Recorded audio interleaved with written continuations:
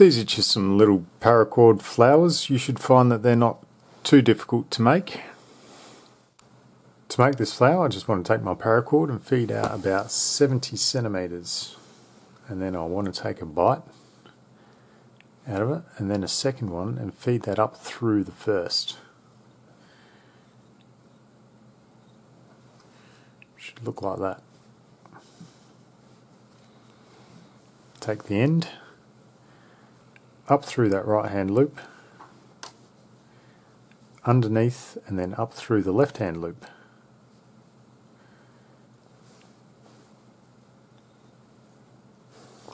And now this is going to form a petal and this one here, this loop here is going to form a petal too.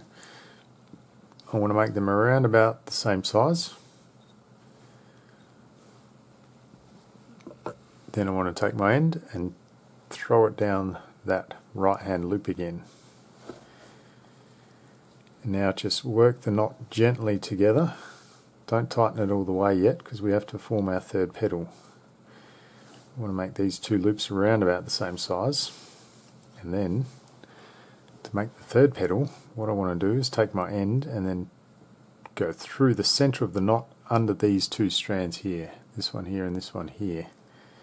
Just straight up through the center of the knot.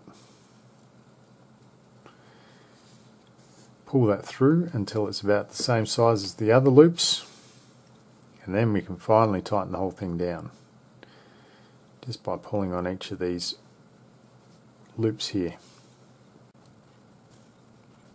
And then you'll find that this final loop is still adjustable.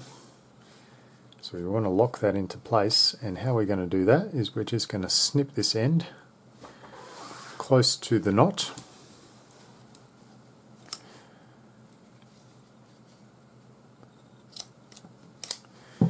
and then we're going to get a crummy old knife one that you don't mind getting all black and full of plastic.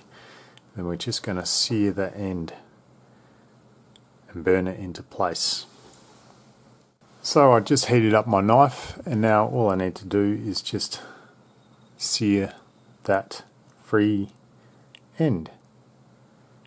Just gently melt it and massage it just so it